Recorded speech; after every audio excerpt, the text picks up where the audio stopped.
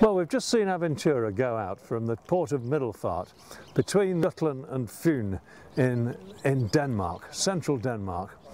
The vessel really starts my heart turning because the sound of her engine takes me back 50 years till when I was a very young man and first went to sea on a vessel that was not unlike her, and that's when I met my wife.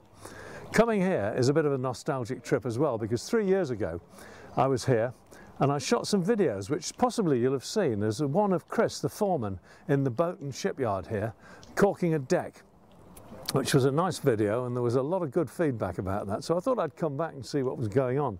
And um, as I sailed into the little harbour, I saw this wheelhouse here sitting on the dock. And I was tickled to death by that, you know, because uh, it's actually been taken off another Baltic trading vessel, which is, which is behind the camera at the moment.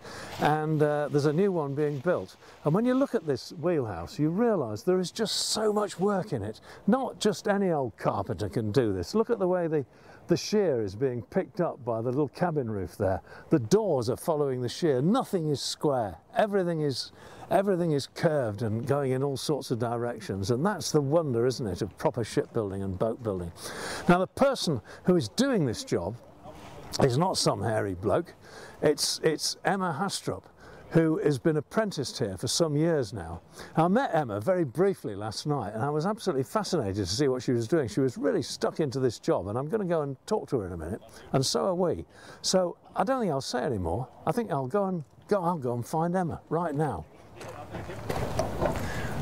Well, we're inside the wheelhouse. I've, I've run Emma down to her workplace right now. And, uh, and we, we get to talk to her, which is absolutely brilliant. I've dragged her away from her bandsaw over there, and, and, and uh, she's going to give us five minutes of her time. Now, Emma, Yeah. you didn't do this straight from school, did you? Uh, no, I didn't. I uh, went to the university at first, actually, and uh, then I dropped out, and then I worked at a kindergarten for a couple of years, Yeah. and I was really happy to do that. And um, I found out that uh, I want to do something with my hands because it, it makes me happy, and Yeah. um, so I ended up here. So, what led you to the boating thing? I mean, Mm, I've always been sailing, oh, I see. yeah. Yeah. So Uh, I love the world around it. And has it always been traditional craft or, or, or not? Mm, I like traditional craft. Yeah. Did you did your family sail? Did you grow up around? Uh, yeah, my grandparents had a boat. I went out sailing every summer. Yeah. And was that a wooden boat or was it a? No, it wasn't a wooden boat. This is the point. This is the thing you see, because so many people go sailing in, Yeah. in, in modern yachts and they have a jolly good time and they're mm-hmm. excellent yachts and they, they, they do very well. Yeah. But there's only so many of us that get gripped by the the feel and the smell and the the, Yeah, the atmosphere of the old boats. Yeah. So how did that come about? What what what led you to it? Was there some moment of truth or, or, or, or anything, or did it just happen over time? I think it just happened over time. I mean, I like the old handcraft a lot, and um, yeah, I love working with wood. So, Really? Uh, And did I you work with wood before you came here? uh, no, no, I didn't. I So you came here knowing nothing really. Uh, I tried it at school, and uh, I really fell for it there. So uh, that's how I ended up Okay. doing this. And uh, how did the um, what was the administration that led you to to, to Middelfart? Because this, this is not your town, is it? No, it's not. I'm from Copenhagen, I see. and uh, it's the first time I've tried to live out of Copenhagen, outside of Copenhagen. And um, actually, it was a teacher who called me and said that uh, Chris, my master, was looking for someone.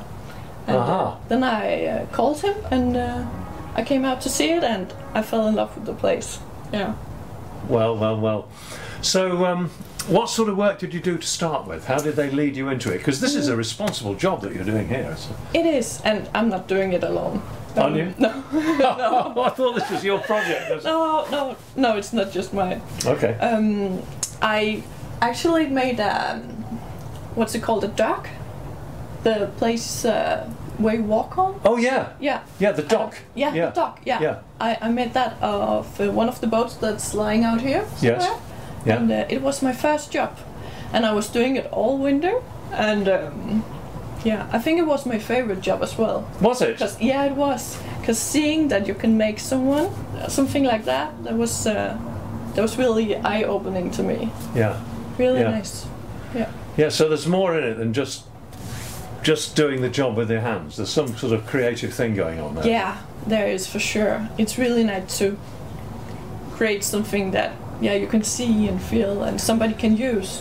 What are your favourite tools? What do you enjoy using? Mm, oh, oh, that's a tough one. Well, it is because there's so many power Yeah, tools now, aren't there? But you but you still have the slick, the chisel, Yeah. don't you? And the Yo, uh, yeah, I think uh, it's some of the traditional ones, the one that's always been used. Maybe yeah, maybe the chisel. yeah, Yeah, yeah. but I think I think maybe that's Rich Muda man. So you know, some of them you have to use power, and it's it's Yeah. good with if you've got some frustration or when I do something. Some days you just wanna like do small stuff. Yeah, Hmm? yeah. What do you particularly like? I mean, there's the, the, the thing about boats. There are tiny little intricate jobs, and there are Yeah. great big jobs, bashing out great keels and making huge scarf joints and things. Yeah. And, and then there are these intimate joints in the in the, in the coach roof here. And uh, Yeah. Mm, what goes your way best? What floats your boat best with these things? mm, I think I like the big job best because then you can see the most difference from when- you started out. Yeah, And uh, it's really nice to see yeah. and create something big. Yeah. so it's shipwrighting rather than intricate furniture making that, that, that yeah. appeals. Yeah, I think so. I would Yeah. say that. Right. And um, you know, it's perceived to be a man's world. This. It is. How, how do you get on with that, really? I mean, it's an intimate question. It's probably rude to ask, but uh, No, how do you feel I about think it's important to ask. Okay. Um, down here we are not that many people, so I don't really feel it, and there's a lot of other women at the harbor doing other stuff. And um, I think it's important to get more women out in the field and doing handcraft work. And uh, yeah, I would really recommend that. Good. Good. Good. Yes. And uh, I haven't had any trouble with it. When you have to pick up heavy stuff, you have things to help you with do, to do that. So it's not like you have to be extremely strong or anything like that. right. So you're not relying on some guy to come and help you. You can No. usually find a machine or, or Yeah, I can do it all by myself, brilliant. and uh, That's really important because that, that's uh, a hundred years ago that might not have been the case. I I think it's changed. Yeah, because I think uh, in old times you had to like pick stuff up yourself, and yeah, a lot of other things. So yeah, So there's nothing stopping women to go out now and do it. no, And uh, it would be really nice to see some females out here. well, it would, wouldn't it? Yeah, it Actually, interestingly, in America, um, I've spent a lot of time in America, and uh, um, I think women are ahead of Europe over Yeah. there in this Yeah. respect. On the east coast of America, in the big museums there, there's uh, Mystic Seaport Museum. Mm. Yeah. You'll have heard of that. Yeah. They have. Um, there's a lot of women working there, and they're working on the boats and the ships. Okay. They're up on the yards, singing Yeah. out with the shanties and, and, and, and encouraging people to go and do it. And it's uh, Oh, it's great, sounds and it seems quite natural Yeah, because because it's been going on for 30 40 years yeah. So nobody is asking any questions about it. No. or- no not at all so i think they're actually uh, strange to say i think they're ahead Yeah. of us in this Oh, um, maybe I should go visit them. well you'd love it actually yeah, Yeah. they'd love to see you that's that, Yeah. that, that, that, that, that's for sure oh we just saw um, the mate on the aventura there Yeah. um, there was a, a young woman and uh, every inch a seaman I was just watching her moving Yeah. around the deck and just perfect you know just great and the skipper didn't even watch what he was doing he just No. got on with his bit and he knew she was doing it right and that Yeah. was That's really nice. yeah, a real a, a real pleasure to see so look um, Mm. Yeah. sooner or later the world's going to run out of old boats to restore Yeah, yeah. Is if it? we if we don't learn how to like, what's it called, maintain them? yes Yeah, yeah look Yeah. after them look after them. Yeah, Yeah. So, um, yeah, so in the future, Mm-hmm. you feel that there are enough traditional boats around to provide a, a, a solid future for somebody uh, with your Mm-hmm. with your uh, skills and your training. I think there is, or maybe we're gonna have to make some more new builds as well, because a lot of the old boats are dying out. Well, they are, aren't they? Yeah, I they mean, are. I've, I've done my time with old boats. I've owned I've owned old boats. Yeah. I think my oldest boat was built in 1895. okay. Yeah, and I had a Colin Archer boat built in 1903 Yeah. for many years, and I had a pilot cutter built in 1911. so we know all about boats falling apart. Yeah. But Yeah, uh, and they do that. they do. But for us, the main thing is to, if you possibly can, to get them to sea. Yeah. Get some salt water on them. You know. Yeah. Yeah. Not l- have them lying up all year round. But um, yeah, I don't know how many wooden boats there's there's left actually. So, No. but hopefully enough. But you're confident there's enough. Yeah. Well, good. Yeah.